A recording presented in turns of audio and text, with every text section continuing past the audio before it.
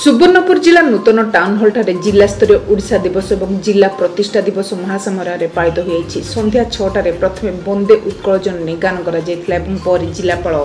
ଆବଲି ସୁନୀଲ ନାରୱାନଙ୍କ ସଭାପତିତ୍ୱରେ ମୁଖ୍ୟ ଅତିଥି ଭାବରେ ଜିଲ୍ଲା ପରିଷଦ ଅଧ୍ୟକ୍ଷା ସୁପାର ଠେଲା ସମ୍ମାନିତ ଅତିଥି ଭାବରେ SP Amaresh Panda ADM Suryanarayan Das ADM Nisi Poonam Minj